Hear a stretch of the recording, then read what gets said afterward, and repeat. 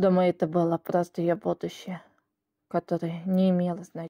Я практически уже не помню, что делал той ночью. Я, наверное, просто сидел и смотрел, как она когда-то. Все это время ни о чем не думая и ничего не делая. И тогда случилось это. И наш малыш снова проголодался. Но уже не было никого, кто мог бы накормить его. Не было той еды, в которой он нуждался. Всю свою жизнь я только и видел, как гиена голодает. Я не мог допустить, чтобы голодал и он. И не только потому, что он мой сын, а потому, что он был и сыном Шенси. Он был всем, что осталось у меня от нее. Я должен был продолжать бороться ради него. Меня не было выбора, поэтому я пошел туда, куда и должен был. И отнес его туда, где у меня мог бы быть шанс найти помощь.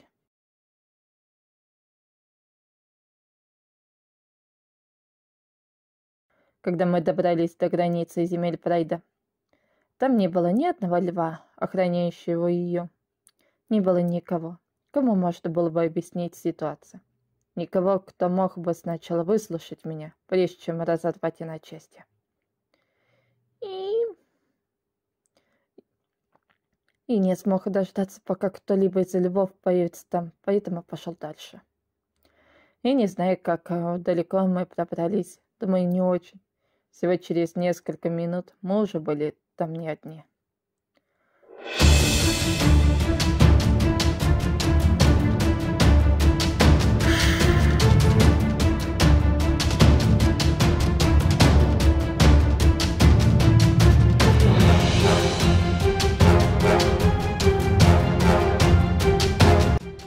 Если я еще слышала того гепарда, да. Траве благодаря своим большим ушам. В тот момент единственным возможным вариантом было просто скользнуть от него, потому что убежать и никак не получится. Потом оказалось, что он уже был не один –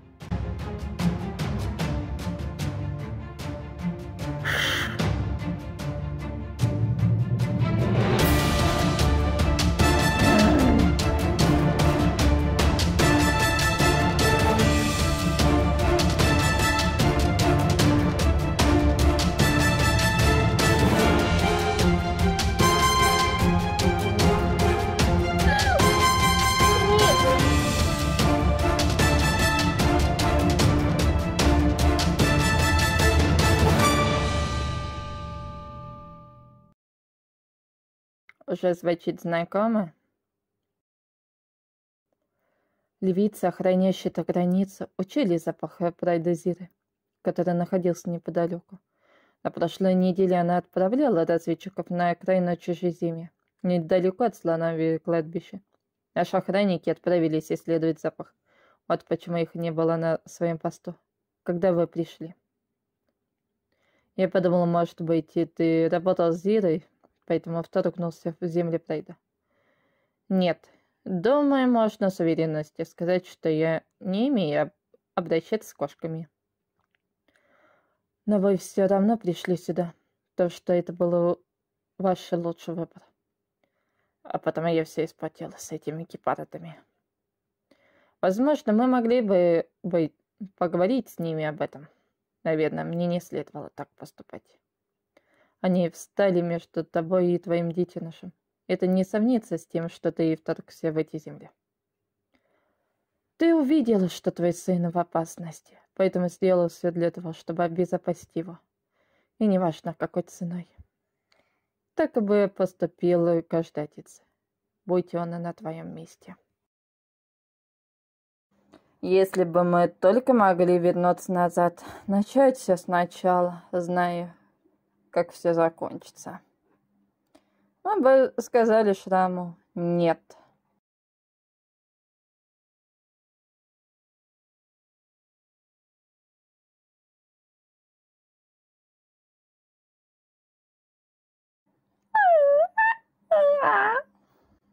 Королева нашла того, кто позаботится о нем.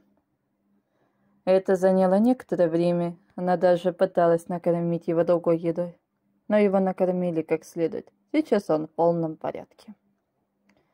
А что будет потом? Куда он должен будет уйти? Никогда. Он останется здесь, у Скалопрайда. С нами.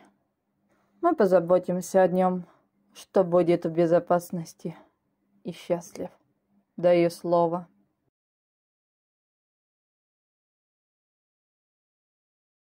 Ты делаешь это все ради него. Не так ли? Да.